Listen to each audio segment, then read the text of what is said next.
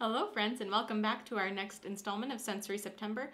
I'm Anne. I'm the Youth Services Librarian here at the Octavia Fellin Public Library in Gallup, New Mexico, and today we are doing tissue paper process art. So, process art is where you care more about the process and the final product. So, things that fall under this category would be things like finger painting, playing with Play Doh, things that help strengthen our fine motor skills but aren't necessarily hinged on everything looking perfect at the end. So, let's get started.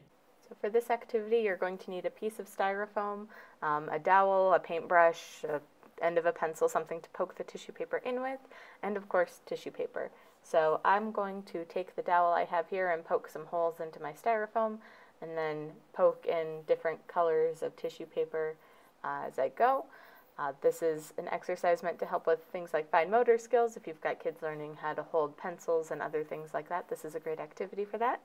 Um, again, this is about the process, not about the end product, so don't worry too much about how things look, just kind of let them play around. Other good process activities are things like Play-Doh and finger paints um, and other things like that where it's more about getting your hands dirty and using your hands than it is about what the what the end product looks like and I hope you guys try it at home. And if you do, uh, take some pictures and tag us on Facebook or Instagram at Gallup Library uh, so that we can see all of your great creations. We'll see you guys next time.